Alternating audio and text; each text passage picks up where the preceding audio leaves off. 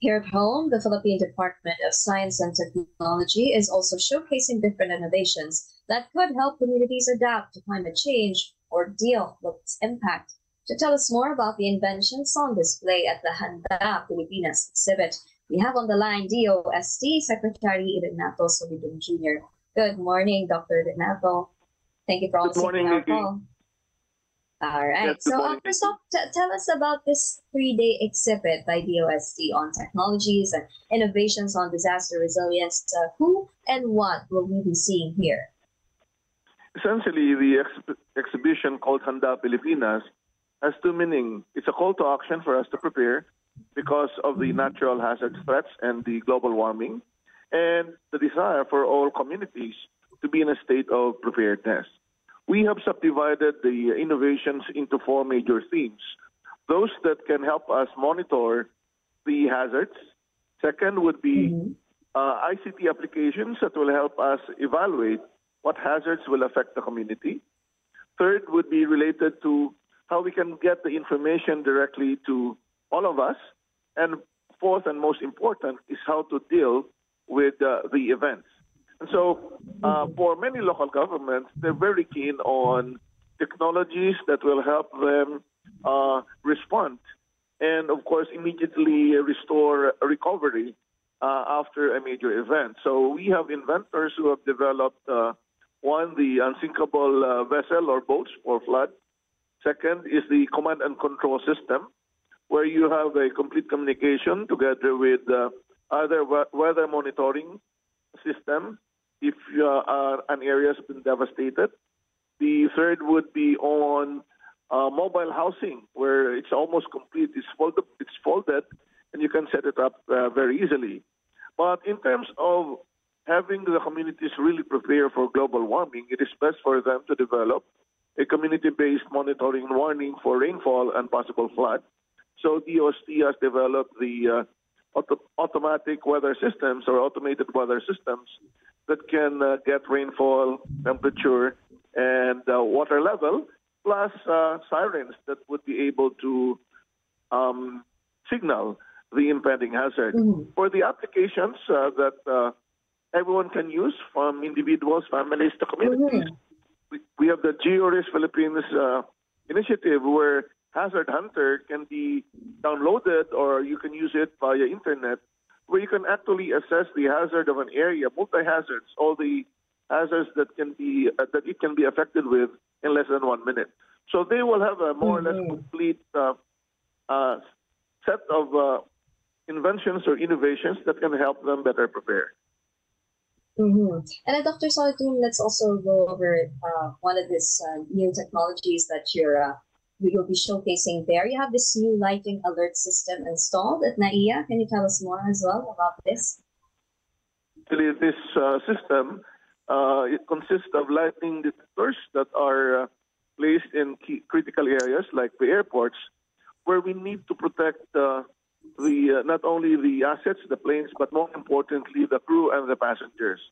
So every time there is an impending thunderstorm and lightning strike, uh, we uh, raise the alert to the authority, and then they would temporarily stop the operation.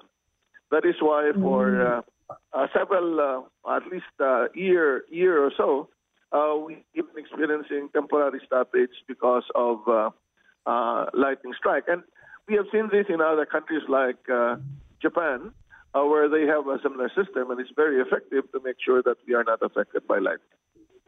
Mm-hmm.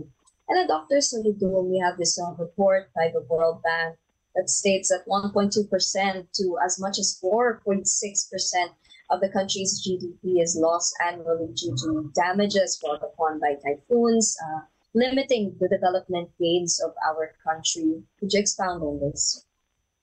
Yes, essentially, uh, most of our efforts in our country, uh, whether it is related to agriculture, manufacturing, and other industries, we really want our country to be economically developed.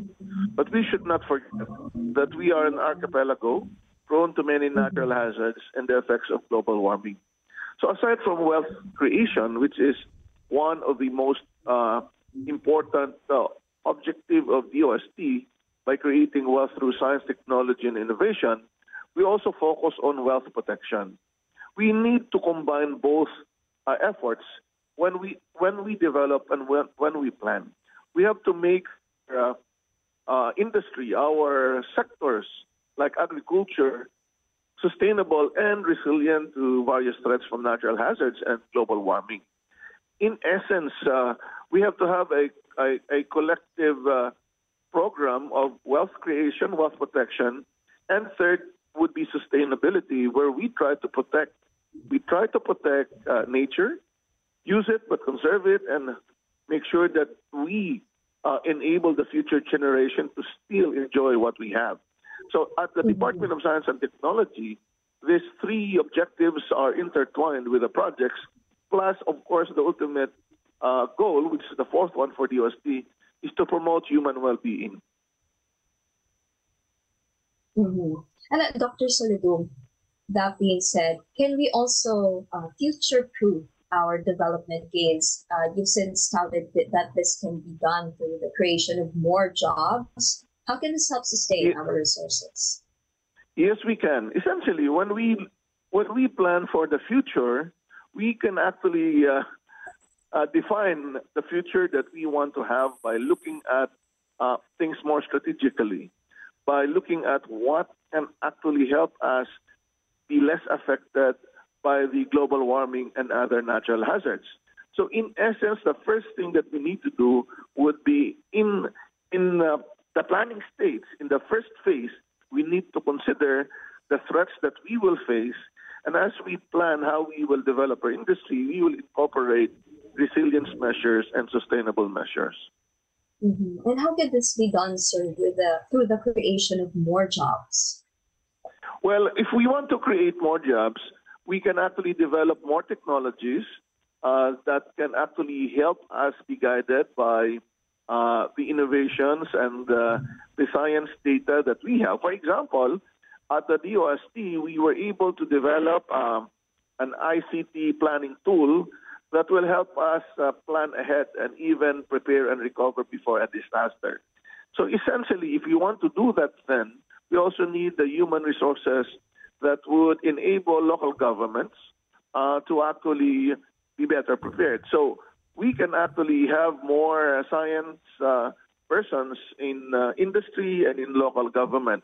Second, when we look at uh, global warming, uh, water con- uh, conservation, sanitation, sustainability of industry, we need to combine both green technology and digital transformation. So this is what the uh, UN uh, uh, Commission on Science and Technology for Development would want to, to do, so that when we actually use technology and have uh, hire more people, they would need to focus on multi-sectoral approaches in uh, planning and implementing things. So, in in essence, we get, there are more jobs now being created because of the sustainability issue and resilience issue. Now, for quality jobs, that is where we need to look into by having more engineers and scientists looking into how we can actually have more green technology uh, to sustain our economy towards green and blue economy. Mm-hmm. All right. Lastly, Dr. Solidum, invite us to the exhibit. I think it's the last day today. Uh, where can we visit or drop by? Where can we get more info on this? Yes, uh, this is the last day of the state exhibit of Handa Pilipinas. This is at the World Trade Center in Pasay, Hall A. So uh, please visit. This is the last day, and uh, you can talk to experts and uh, find out what uh, technologies can be appropriate to your local government, your industry, your organization, or even your schools. All right. On that note, thank you so much for joining us this morning. As always, Dr. Renato Solidum. You stay safe. Thank you very much.